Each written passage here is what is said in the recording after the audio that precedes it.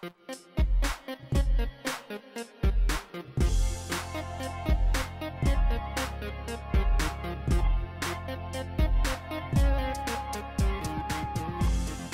what's going on guys, welcome to another tutorial in Adobe Edge Animate. In this video I'll show you guys how to create some rollover buttons with symbols. Go to File and then select Import and this is going to be the button. This is just a graphic from Illustrator and it's a PNG file. To start this off we're going to press Ctrl T, add a stop trigger in the beginning of the timeline and then what we're going to do is create a symbol. So right click on this, select Convert to Symbol, I'm going to call it button 1.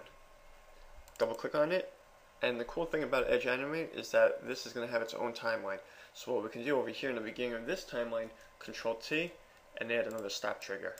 And what this does is that when the person sees this button, it's just going to show blue. But what we want to do is roll over this and change the color. So what we're going to do over here is add a label called hue. And that's because we're going to change the hue of this. Right over here, add another stop trigger. But let's go to the beginning of this label and we're going to select this button, select filters on the left, one keyframe for the hue, that's going to be blue, and then move over here to the stop trigger, and we're going to adjust this, let's leave it at purple.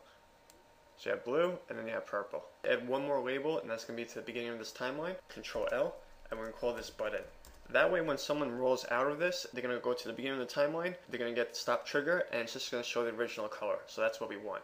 So let's come over here and right click on this button, open actions, and select mouse over, play, in quotations, hue. Now when somebody rolls over, it's going to go to the purple. Then you're to add another action and select on mouse out, play, in quotations, button. So we're going to add one more action, select click, open URL, and we'll leave it at adobe.com. And we just want to do one more thing over here, and that's add a cursor, so select auto, and then select a pointer. So now we have a pointer cursor when somebody rolls over this. And I'm just going to increase the speed of the animation because I want this to be a little bit quicker when somebody rolls over it. If you want the animation to take longer, all you have to do is separate these keyframes. Now one of the cool things about using symbols like this, if you want to do this again, all you have to do is take the same symbol over here, right click on it, select duplicate, and then we're going to bring the button onto the stage. Double click this, so if you want to make this say like green, you can do like that, and then that goes to purple. It's really about what you want to do, obviously. And then we can also change the URL. So right click on this, open actions,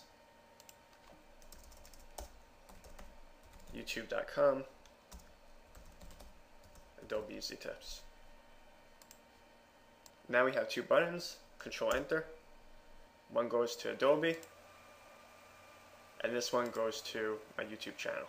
So that's how you create some rollover buttons with symbols in Adobe Edge Animate. I hope you guys enjoyed this tutorial. If you liked it, give it a thumbs up, and I'll see you guys in the next tutorial. Cheers.